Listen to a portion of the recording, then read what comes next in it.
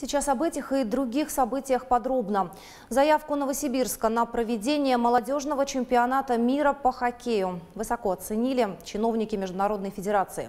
В связи с чем губернатор Владимир Городецкий дал поручение профильным министерствам за два месяца подготовить все варианты строительства новой ледовой арены. Напомню, ранее областные власти заручились поддержкой федеральных чиновников. И в Кёльне, где проходил конгресс и презентация, глава нашего региона представил участок для строительства в пойме Аби на левом берегу. И гарантировал высокий уровень комфорта и безопасности всем участникам и зрителям чемпионата. Напомню, он пройдет в 2023 году, город пока не определен.